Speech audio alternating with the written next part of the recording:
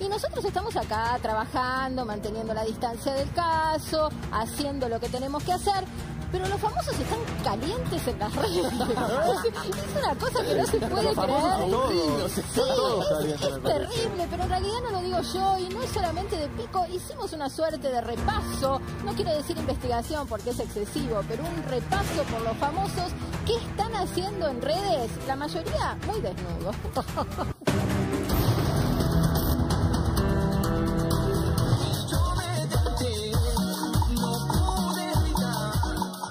vueltita, la vueltita, la vueltita.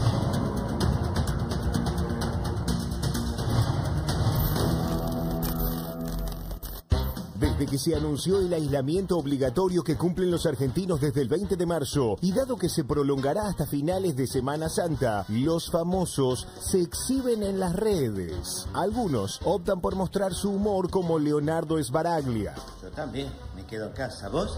Yo me quedo en casa. En casa. A Calu Rivero se la puede ver haciendo un raro video.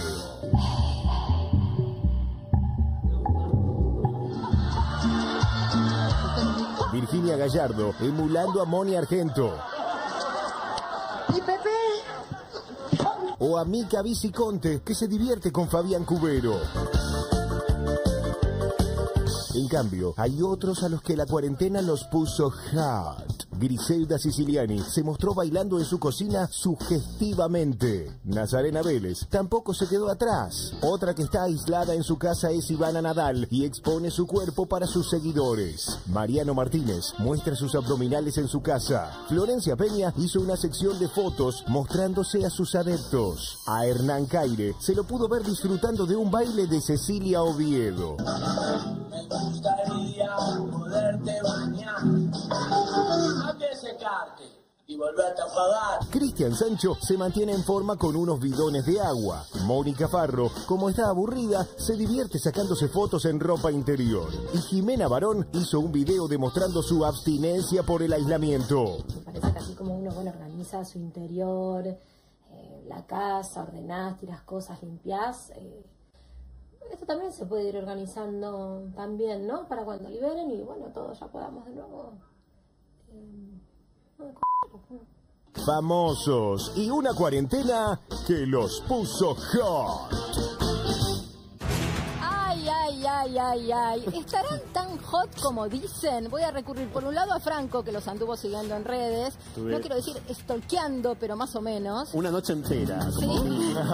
No sé cómo, cómo, cómo me peor que ellos, ¿eh? Si es que no, porque es lo peor, por supuesto. Sin rehabilitación posible. De verdad, estuvimos hasta altas horas con nuestro productor Javier eh, siguiéndolos. Es impresionante porque sin escenario, Marina, sin público, no dan abasto, no pueden más, no pueden vivir. Les falta el tubo de oxígeno, les falta el aplauso, el estudio, las tablas, si querés, el estadio de fútbol, lo que sea. Necesitan público todo el tiempo y tal como dice Tartu, como dijo acá el otro día eh, Tartu y como estoy sentado en su Claro, lugar. estás imbuido por su espíritu. Exactamente, fui tomado por eh, Augusto Tartufoli. No van a estudiar teatro, ni siquiera están colaborando con la Cruz Roja en este momento. Básicamente están mostrándose en trusa, Ahora, en trusa. Pero para Sí. todo el mundo lo hace. Vos hablas de los famosos y están todos mostrándose en pelotas en las redes sociales. Que vos lo hagas todas las noches porque yo ya te veo, no significa que estemos todos así concretamente. No, Franco, no es la primera vez. yo veo todo no es la primera vez. Jimena Barón toda la vida se mostró eh, con muy poca ropa en, en- en su cuenta de Instagram. Siempre, todo.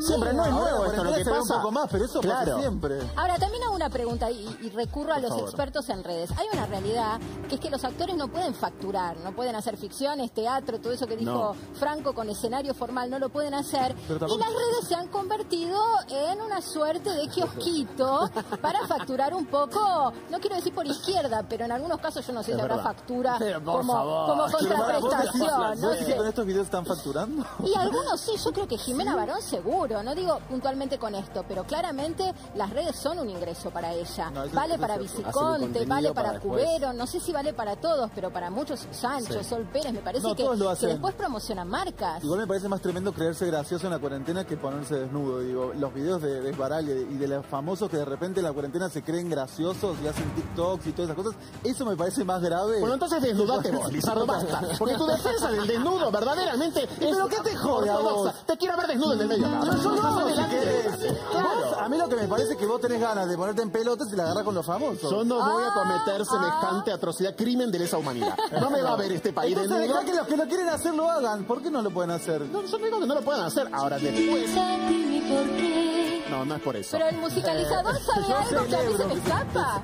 No sé, en una de esas fue un mensaje del más Fue un allá mensaje esto. para- Pero la verdad, digamos, acá me parece que hay varias cosas que se mezclan. Por un lado están aburridos, algo tienen que hacer. Y, y por otro lado, puede ser hasta un buen momento para sumar seguidores. Porque Sí. también la gente, el público, está en por cuarentena. favor. ¿De qué va por las público me hablan? Cecilia Oviedo, ¿qué público tuvo Perdón, en su vida perdón. Cecilia Oviedo? No, no, no. No. Perdón, pero por favor, de los de famosos que aparecen en ese video, hay, hay muchos que, que en su vida hicieron un éxito, que no hicieron una, no llenaron un teatro, que no hicieron una... ¿De qué me están Bueno, hablando? pero también es la época en. A ver, ¿De qué público? cuarentena- ¿De Qué suerte que está hablando Julio Chávez. No, pero yo no, no hago una- pavadas. Con una pavadas, interminable. porque sé que no, no, no. Voy a revisar tu Instagram, voy a ver cuántas pavadas hay y cuántas no. No, no hago pavadas, ¿de qué me están hablando? Igual, el video de, de Oviedo con Caire es, Es raro. Es marginalísimo. Es difícil de explicar, es por lo menos polémico, porque digamos, en un momento donde se hace mucho hincapié en esto de no cosificar a la mujer, el hecho de que aparezca él, digamos, señalándola a ella, Pero ella- es hay una- un dato no es que ella elige perdón. mostrarse desnuda, ¿me Pero explico? también- La diferencia es que aparece un Pero, hombre... pa- perdón, Marina, para. A nadie la está obligando a Cecilia Oviedo. No, no, no dije Se que desnudó completa porque ella quiso. No, pero ¿Cómo que quiero agregar no? un dato, quiero agregar un dato del video de, eh, de, de Cecilia Oviedo. Es un vivo de Instagram que claramente va en base a la reacción de lo que está escribiendo la gente. Entonces Está digo, chocha. ella, eso lo veo como hasta más raro, como dice Franco, porque está Gracias. exponiéndose ante el pedido de la gente y de Hernán Caire. Entonces digo, hay un poco lo que estás diciendo vos también. Sí. vos sabés que ayer, Ante eh, el pedido ella se empieza a desnudar en un vivo en donde en ese preciso momento la gente le está Hablando pidiendo. de eso, vos sabés que ayer eh, Mónica Farro hizo un vivo Sí, de. Instagram. Le contamos para ahí a, a- a las- a la gente que no tiene Instagram, que se puede transmitir en vivo, como si estuvieran haciendo una entrevista que hizo eh, Mónica Farro con la revista Paparazzi. Y Mónica Farro estaba hablando cosas serias, de que se había realizado un aborto, de la violencia de género.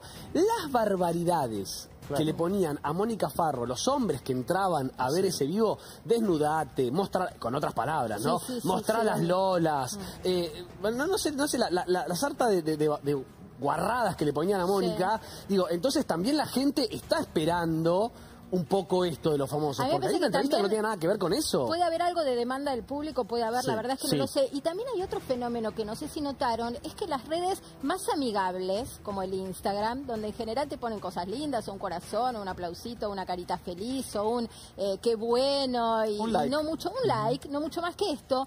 Ahora, si uno mira los comentarios de cualquier publicación, empiezan a aparecer muchos más haters, incluso en Instagram. Esto me parece que puede hablar de que estamos todos alienados, de que estamos todos encerrados y queremos salir a matar a alguien y matamos virtualmente a la gente.